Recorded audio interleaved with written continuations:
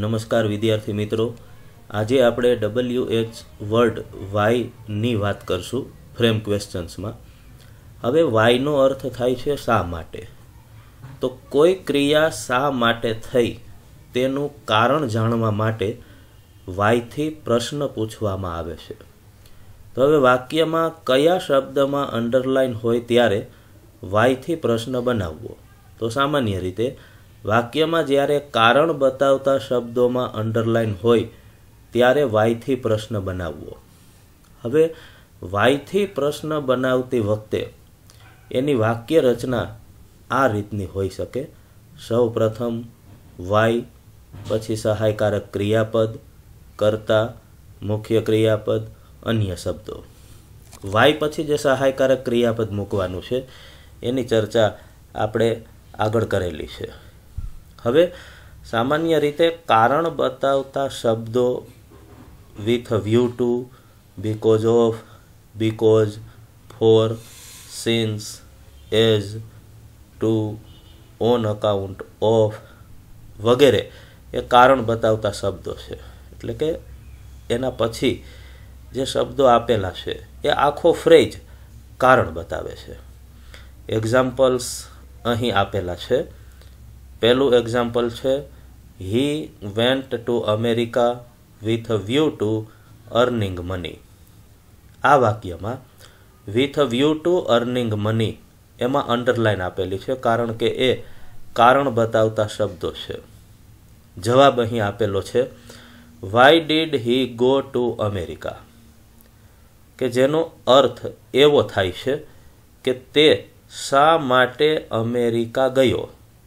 તો એના જવાબમાં ઉપરના વાક્યમાં અંડરલાઇન કરેલા શબ્દો આવે છે કે ભાઈ, પૈસા કમાવા માટે એ ગયો છે. તો એ કારણ બતાવતા શબ્દો છે.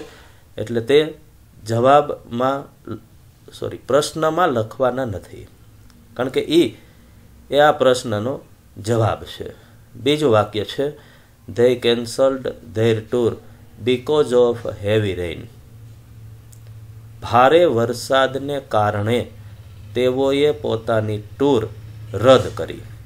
તો અહીંયા કારણ બતાવતા શબ્દો છે બીકોઝ ઓફ હેવી રેઇન જવાબ અહીં આપેલો છે સૌ પ્રથમ વાય પછી did they cancel their tour આ બંને વાક્યોમાં, પહેલા વાક્યમાં અને બીજા વાક્યમાં હી પછી અને ધ્યેય પછી, જે ક્રિયાપદ આપેલું છે એ ભૂતકાળનું ક્રિયાપદ છે. એટલે જવાબમાં બંને વાક્યમાં વાય પછી સહાયકારક ક્રિયાપદ તરીકે ડીડ મૂક્યું છે અને કરતા પછી મૂળરૂપ મૂકેલું છે. ત્રીજું વાક્ય છે, Rohan is running fast because he is very healthy જવાબ અહીં આપેલો છે કે why is Rohan running fast ચોથું વાક્ય she will visit library to read an English newspaper એનો જવાબ આ રીતે બન્યો છે કે why will she visit library પાંચમું વાક્ય છે, Ramu has gone to market એનો જવાબ આ રીતે આપેલો છે કે why has Ramu gone to market તો હવે પરીક્ષામાં જ્યારે વાક્યમાં કારણ બતાવતા શબ્દોમાં અંડરલાઇન આપેલ હોય, ત્યારે નીચે જે ચાર ઓપ્શન આપેલા હોય, તેમાં વાયથી શરૂ થતો પ્રશ્ન તેનો સાચો જવાબ બનશે. જો વાયથી બે ઓપ્શન શરૂ થતા હોય, તો જે ઓપ્શનમાં અહીં આપેલી વાક્ય રચના મુજબ શબ્દો આપેલા હોય, એ ઓપ્શન એનો સાચો જવાબ બનશે. થેન્ક યુ વિદ્યાર્થી મિત્રો. આગળના ડબલ્યુ એચ વર્ડની વાત આપણે આગળના વિડીયોમાં કરશું.